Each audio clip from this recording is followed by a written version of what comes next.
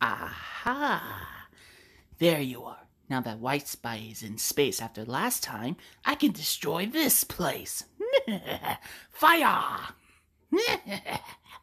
Victory for the Black Army, huh? Wait a sec.